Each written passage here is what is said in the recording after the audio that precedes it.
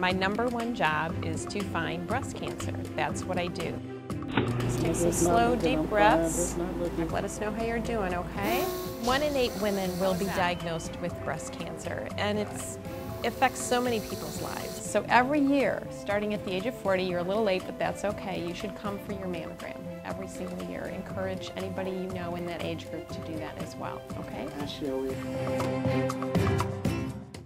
Most of the patients walking through our doors do not have breast cancer, may never have breast cancer, and they're there to be screened to be proactive. 70% of women diagnosed with breast cancer have absolutely no family history of breast cancer. All right. I think it's important to catch it early. It's the only way we're going to be able to cure it. One of the new technologies that we have at university hospitals is digital breast tomosynthesis. This will not only decrease the amount of patients that come back, but maybe the patients that do get called back, we may be able to find the cancers at a smaller size at an earlier stage. So every screening patient at the Breen Breast Health Pavilion and out at Chagrin are being offered the 3D tomosynthesis. We have such a great team that is completely subspecialized in breast care. All of this new technology and our teamwork and our tumor boards all translates into better patient care. What's important is that I made an impact in patients' lives. If I can catch their cancer early, that makes my day worthwhile.